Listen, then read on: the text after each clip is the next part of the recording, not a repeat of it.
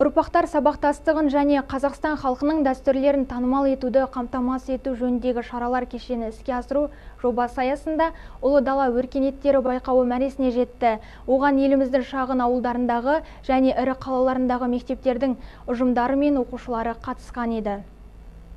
Ұлы дала өркениеттері байқауына 138 орта білім беру ұйымы өтініш білдіріп, 59 ұйым толықтай бекітілген. 13 шараның бәрін орындап шықты. Оларды әлеуметтік желіден Ұлы дала өркениеттері хештег арқылы көруге болады. Тіл мәртебесі, ел мәртебесі қазақ тіліндегі эссе байқауы. Мәдениет, ұлттық қайта өркендеу коды атты дөңгелек отырысын өткізу. Талант, табиғаттан талап өзінен кездесуін өткізу.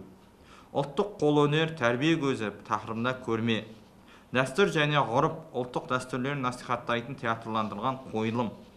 Орта білім беру ұйымдарының арасында нағыз қазақ қазақ емес нағыз қазақ домбыра тақырыбында флешмоб акциясын өткізу жетістіктің тарихы жастарға дәріс өткізу құндылық адам жаны алтын арқауы үздік бейнебаян байқауын өткізу жәдігерлер сыр шертеді бейне таныстырылым байқауын өткізу. Исламбек тастан бәсекенің бірінші орын иегері 1 миллион теңге алғанды жеткізді. Өзге де жүлдегерлер қаржылай сыйлықтармен марапатталған. Бұл қаражат орта білім беру ұйымдарының қажеттіліктеріне бағытталады. Жобаны іске асыру кезеңінде жетістікке жеткен жастар тарихының портфолиосын құру бойынша меже елу адам болса нәтижесінде 112 адам туралы журнал жарық көрген. Айгүл пірәлиева ақтанберді әбітаев ернар сатыбалды жеті жеті ньюс